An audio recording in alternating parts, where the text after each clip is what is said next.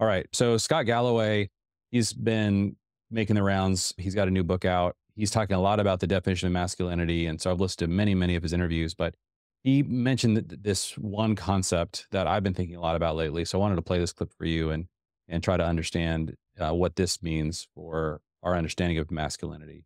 And Richard Reeves, Boys and Men fame, has this great frame, and that is adding surplus value. I teach my boys, I'm like, you're negative value right now. Your mom spends a ton of time. We spend a ton of money on you. We give you more love than you give us. You go to school. Uh, this incredible infrastructure is spending time and energy to educate you. I'm like, when you become a man, is when you're doing enough for other people that you're adding surplus value. You're producing more than you're taking. I this is one thing I I found that this this idea of are you actually, you know, sort of justifying your existence? Are you sucking more out of the world?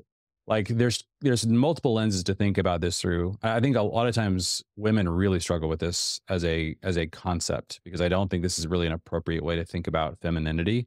I think there's a different way to think about it. I, I think there's a, there's an appropriate way to ask this question, you know, in that context. But I, I think men need to ask this question and I think that there's there's going to be a lot of bristling about like this does seem contrary to the nature of the gospel. Like we essentially are just granted through grace this amazing gift of eternal life, and that we're granted this identity as sons. Um, and so I do think that there is a, an initial step that obviously Scott's not going to tease out in this conversation because it's not about the gospel and he's not a believer. But I think I think if you start with the assumption that we can't bring anything to the table for our own justification. We've been saved purely by grace and that we receive that identity of sonship. At that point, there does need to be this conversation about am I you need to be some you need to be making this calculation. Am i taking away more than i'm giving? So yeah i want to make sure that we're thinking about this through that lens. We, we are first saved and then we ask this question.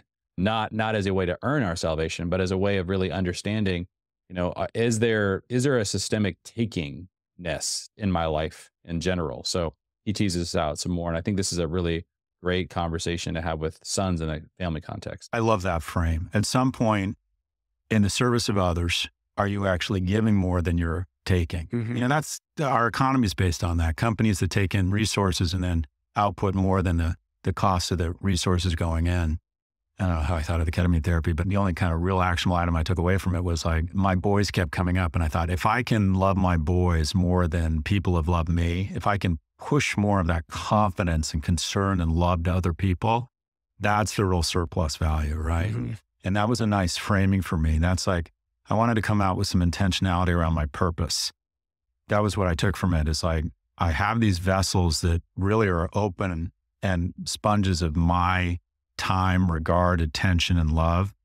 And if I think one of my purposes as a man is surplus value, is how can I do more of that for me, them than was done for me? I have a very complicated relationship with my father. He wasn't very good to me or my mom. But here's the thing he was much better to me than his dad was to him.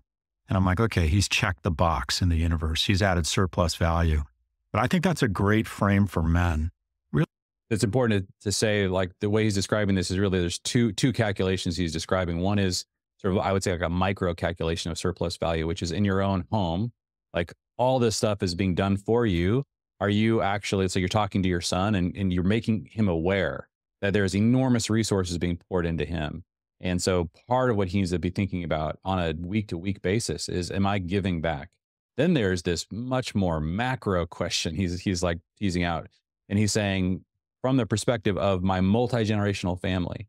Am I actually providing more value to my family downstream than my father provided for me when I was? That that's a really good question to ask. You know, I think uh, I've I've seen in certain situations that again it really balances the scales properly because you have people that uh, really have come from incredibly difficult backgrounds and it's amazing what they're accomplishing in their generation. So a lot of this comes from, you know, the way of thinking about this is if you started at third base, you know, don't don't don't think that you hit a home run when, when you get home, right? Some people are starting from a much much earlier place. And so we have to be really careful with the comparison game. How do we think about it? Do we primarily compare ourselves to people that have come from much more healthy families or are we trying to make sure that we're leveling up every generation?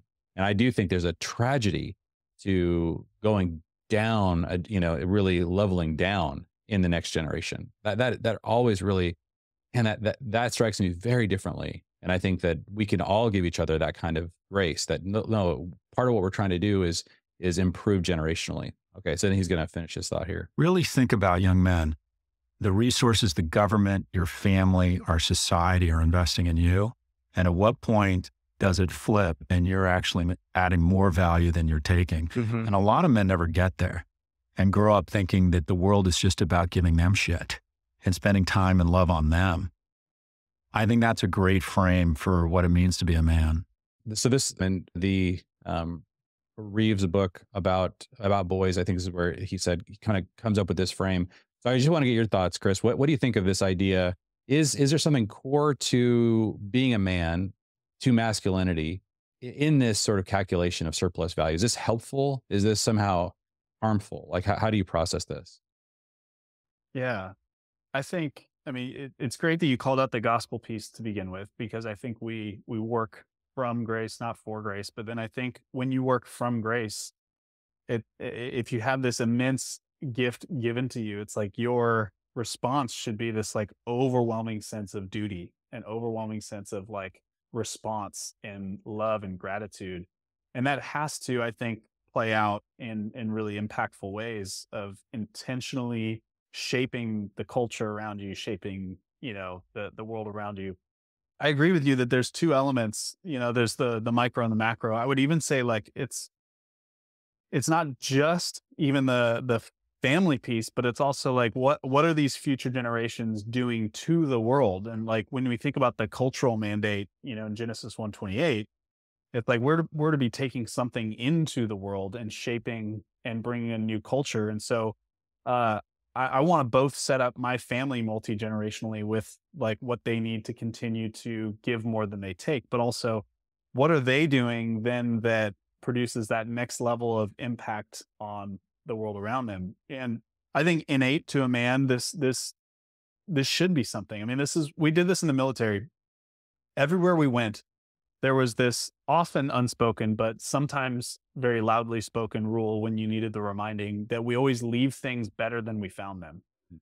And that has really stuck with me. So, like, we, we went over to my mother in law's house the other day, and she wasn't home, and we were doing something over there. And then we were getting ready to head back to our place. And it's like reminding the boys, hey, we leave this better than we found it. And I think that's an element in, in a very small way of displaying this characteristic is okay, just because there was dog hair on the the wood floor when we got here doesn't mean we don't have an opportunity to clean that up. So it's not just putting away the toys that you guys played with in the guest room, but Asher grabbed a Swiffer and went around and got all the dog hair picked up in the kitchen. And it's like wow. those are those little things and and and I think that accelerates as you get older into thinking about business like he said if you, you if you're extracting more value from customers than you are giving them, then your business is inevitable to fail. Right. And if you're giving more value, this is why Alex Hormozi is blowing up because the guy is just giving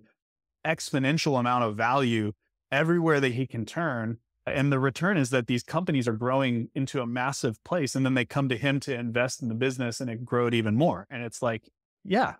yeah. So yeah, that's yeah, what, that's what comes to mind for me. Well, I love I love the idea of just like in a and I, I think this is, I think we have to understand how difficult this is for kids to see. Like you have to make it somehow explicit. Like when I I, I have you know when I calculate the amount of chaos that I create in my own home by grabbing a dish, drinking, putting putting this like leaving things around the house. I'm constantly creating messes. Like if if I were to take in one week the amount of chaos that I have personally produced in my own house, the amount of work to overcome that chaos, the amount of dishes that have to be cleaned, the amount of you know places that need to be like like th- things need to be put back, like on and on and on. Like and I, kids just generally they think they're magically in a world where they can just create an endless amount of chaos and that somebody's going to be running after them picking up all these things and to actually just get back to even i think i think the intuitions that we have what it takes to get back to even is like well if i if i throw a couple dishes in the dishwasher i'm basically getting back to even. Like, no, no, no. You, so you have to somehow find a way to like show kids, like, no, this is, there's a lot of work that goes into all the things that need to be done in a household. to make sure that that we are creating that surplus value. And that needs to be your target. Don't make your target breaking even. Make your target surplus value. Like I want to I want to leave things better than I found them. And that's not easy. It's really easy to leave things more chaotic. And so I think that this entitlement that is inevitable when you don't have this expectation for kids. And I think this is a real problem for a lot of people today is that they think, well, I brought these kids into the world. It's really my responsibility to make sure that I am giving them surplus value endlessly. That doesn't help kids at all. They're they're living in a world in which as soon as they have the power to create that value, you want to begin to to give them avenues for doing that and then raise the bar properly and create that expectation that this is what it means in for you to to be a really contributing person. And I do think that this is a, a, really important topic as well when it comes to business, right? Like I do I agree with you. Like I think that when you're creating a business, I think there are so many businesses that are essentially their model itself is parasitical. You know, I think that uh, if if you could somehow you just figure out a way to through, you know, investing in cryptocurrency, I can just I can just make a lot of money and do zero work other than just make a few trades or something, then a lot of people are just attracted to that kind of way of of producing income and and they're they're looking for the easiest possible way. And i think that we need to aim at value creation. And it's not that that investing doesn't create some kind of value but it it, it isn't a great way to primarily think about how you're going to create value in the world. And i think a lot of people are just being taught that take the easiest road possible instead of maximizing value and I, I think there is something within masculinity that i think needs to be stirred up in men like I want to create as much value as I can. I don't know what that is, but I'm going to really attempt to do this, you know, as much as I can to figure out how can I create as much order as possible. There's so many people in society that are really net negatives when it comes to the creation of value. They're they're really like just sucking value out of the system. That it's going to require a lot of work from many, many of the rest of us and our families, our children and our grandchildren to make up the difference so that we create a world in which there is surplus value for everyone to enjoy. And so that basic calculation, I think, is really helpful. And I think it's an important lens through which to, to, to be training boys and also expecting from, from men in general. We, we are the creators of, of that surplus value.